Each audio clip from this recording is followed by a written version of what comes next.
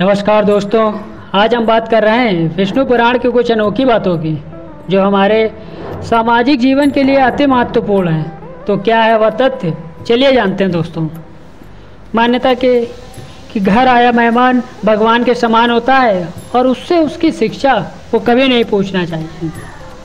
दूसरा, मेहमान से उसके गोत्र या जाति नहीं पूछनी चाहिए। इससे वह अपनी जाति या गोत्र बताने में असहज महसूस करता है। घर आए मेहमान से उसकी कमाई भी कभी नहीं पूछनी चाहिए।